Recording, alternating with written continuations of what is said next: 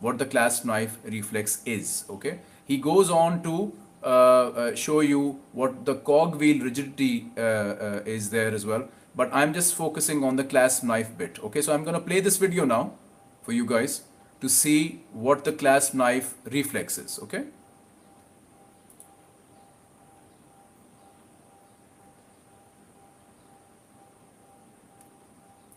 So he basically is asked, he will passively flex his elbow.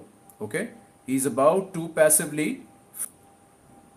There's resistance, and then at right at the end, the resist the resistance goes. So again, he demonstrates flex, flex, resistance, and then it just goes. Okay, this is clasp knife rigidity or response or reflex. Okay, another video in which you can see the lower lower limbs so this is an actual patient